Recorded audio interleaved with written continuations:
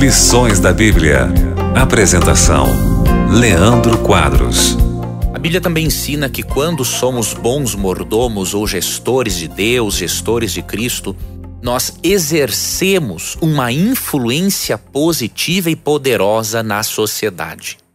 Gostaria de ler para você o que está em Efésios capítulo 5, verso 8, para você perceber que não tem como um cristão ou um mordomo de Deus não ser uma pessoa que impacte a sociedade. Acompanhe-me na leitura de Efésios capítulo 5, versículo 8. Vou ler aqui na nova versão transformadora. Pois antigamente vocês estavam mergulhados na escuridão, mas agora têm a luz do Senhor. Vivam, portanto, como filhos da luz. Aqui é dito que nós, antes da conversão, vivíamos em trevas. Porém, agora em que nos convertemos, somos filhos da luz e devemos viver como filhos da luz. Como que fazemos isso? Permitindo que a luz do caráter de Cristo brilhe em nós, para que essa luz possa ser refletida na vida de outras pessoas. Jesus disse em João 8, verso 12, que ele era a luz do mundo. Por isso, essa luz de Cristo, essa luz do caráter de Cristo deve brilhar em nós e nós devemos refletir este caráter glorioso para as outras pessoas. Se nós somos luzes de Cristo para refletir o caráter iluminado de Jesus, e se de acordo com Mateus 5,16 nós somos a luz do mundo e, de acordo com Mateus 5, 13 e 14, somos o sal da terra, isso prova claramente que um cristão é obrigado a impactar a sociedade.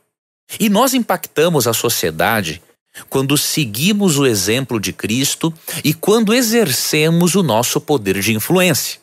E como que podemos exercer o nosso poder de influência? Tratando as pessoas como Cristo trataria, trabalhando de forma honesta e dedicada como Cristo trabalharia, nos relacionando com as pessoas da forma como Cristo se relacionaria, com amor, com respeito, tratando as pessoas com dignidade. Somos bons mordomos de Cristo. Quando exercemos também a nossa influência através da materialização, diríamos assim, dos princípios de Deus na nossa vida. Quando as pessoas veem que somos amorosos, pacientes, justos, não estou falando de apatia, estou falando de amor, paciência, justiça. Quando somos pessoas com iniciativa, quando somos pessoas que revelamos ética em nosso trabalho, em nossos estudos, na forma de tratarmos, inclusive aqueles que não gostam de nós, estamos deixando que a luz de Cristo brilhe por meio de nós. Agora, um outro detalhe, amigo vinte, importante. É fundamental que você, como cristão, exerça a sua influência na sociedade, obviamente, pelo seu bom comportamento, refletindo a luz de Cristo, mostrando a cruz para as pessoas e mostrando por meio do seu estilo de vida que Cristo fez a diferença na sua vida, mas também devemos exercer a nossa influência na sociedade defendendo os interesses de Deus, e isso com amor e respeito. E uma das formas que você e eu podemos promover os interesses de Deus é através do nosso voto. Por isso é fundamental que você seja um cristão responsável na hora de votar. Eu não estou dizendo que responsabilidade tem a ver com partido político, não é isso.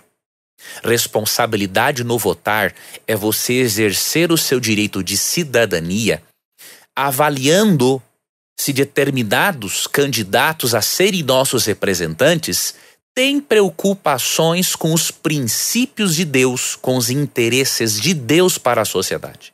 Então você precisa ter bastante cuidado e ser criterioso, criteriosa, para que por meio também do seu voto você possa influenciar a sociedade para o bem, ajudando a eleger representantes que mais se aproximem daquilo que interessa a Deus em relação à nossa sociedade.